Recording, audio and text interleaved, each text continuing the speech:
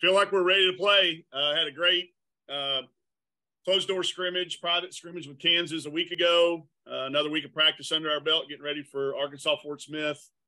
Um, you know the value this time of the year of going against uh, somebody that doesn't know your play calls and uh, know your coverages and might be uh, not as prepared as as a normal opponent would be. it's exciting for us.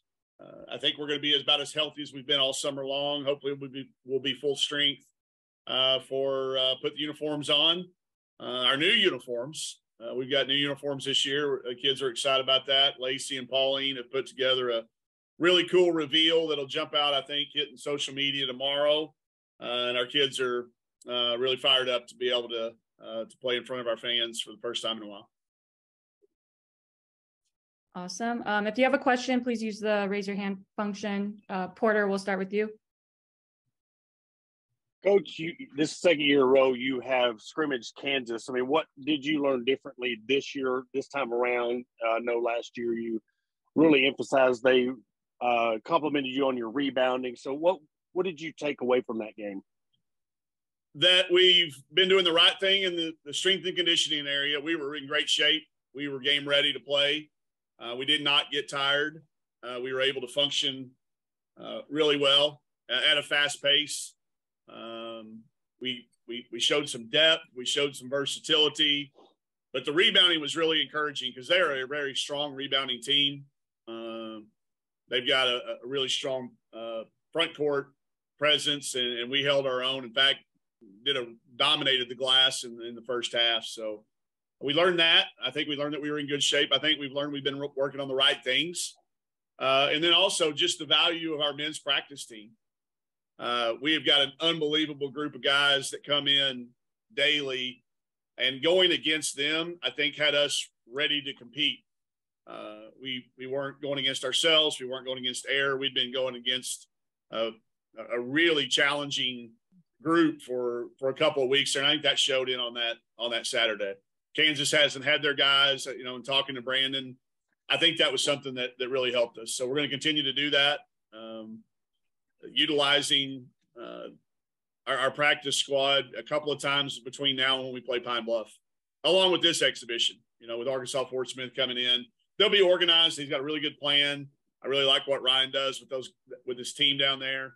Uh, they were good for us last year as well. So I hope I hope this same format we did Kansas and Arkansas Fort Smith last year. We're going to do the same thing this year, and uh, I hope that we um, that will prepare us for the the stretch that we've got to open the season. Last thing I got uh, is, is, it too early to tell with start the what, or are you already seeing? I said, is it too early to tell the benefits of starting your practice later on, or are you already seeing some of that coming into this season? I think it's too early to tell overall. I, I think right now it's all wishful thinking that, that starting later has helped us. But I think we are fresh. I think our kids had some freshness about them, some excitement to still show up. Um, it, it, it doesn't start to get monotonous or mundane, uh, so it's all still relatively new. Then I, I also think at the end of that, even though we started later because of our small numbers, I think we're as far along as we normally are this time of the year going into the opener. Uh, we've actually got two inbounds plays instead of just one.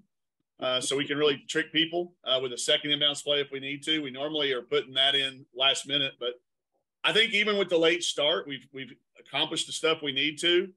You're you're never going to be ready. I mean, if it comes down to a last second show, we haven't worked on very many special situations, but hopefully the things we've worked on will allow you not to have to worry about special situations.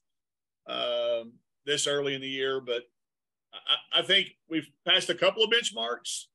Speaking to what you're asking, and I, I'm hopeful that it continues to stay on the path that we made the right decision to start a little bit later.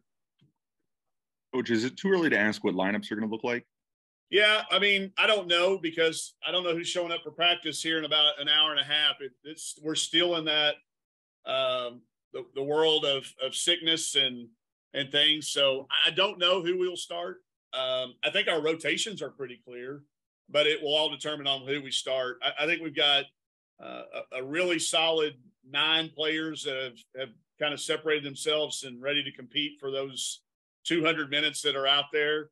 I think combinations will still be a, a work in progress. I mean, I've got in my mind what I would like for it to look like to start. Um, but I, I won't know that for sure until probably game time on Wednesday. Yeah. Would would we be able to talk about rotations? Sure. Yeah. What what are those going to look like? Uh, versatile, long. Uh, you know, I'm, we've moved Sam and Mac both into the the top of our offense. I think that's the first thing. The you know, normally we've had somebody like Chelsea bringing the ball up the floor with with either Sam or Mac. Well, now we're bringing with up with those two, and it gets on you in a real hurry with those two at the top. Uh, so then you've got uh, you know Erynn Barnum's playing at a really really high level uh, now coming back full speed. Uh, look for her uh, to be back to where she was prior to her injury last year. Uh, Jersey's going to look like a different kid to y'all, I think, when you see her. Um, you know, you add Maryam to that mix, and now you've got a, a presence in there alongside of Erynn that can defend. Um, and then the size that Saylor brings us on the perimeter. Um, she can score around the basket, but she can score outside the arc. She can get to the free throw line. And then a veteran like Chrissy Carr jumps in there, you know, and all of a sudden you've got another six foot, six one long um, disruptor that can score. And y'all all know what Rylee Langerman's going to bring us. Rylee is uh, just continued to expand her game. I just uh, ran the stats uh, from our preseason. Uh, she's made the second most number of threes of anybody we have on our team uh, through about a thousand shots, which is a pretty large sample segment. So she's uh, added what she's done. We challenged her during the offseason to, to to really make one more shot in every drill that she ever did. And, and she took that to heart. Y'all know Rylee well enough to know that if you set her out on a task, she's going to accomplish it. Um, so, you know, you've got a mix there. You've got three newcomers with Maryam and Saylor and Chrissy uh, in with those six that you've kind of been used to seeing uh, in the past. So that, that gives us a good rotation. I'd like to play in, you know, three and a half, four minute stretches if we can early um, so that they can get into a flow. I don't like, you know, subbing every minute or hockey line changes. So um, Wednesday night, you'll you'll be able to see the first the first quarter. That'll hopefully look like what our first quarter will look like uh, all the way through our preseason. Dudley, go ahead.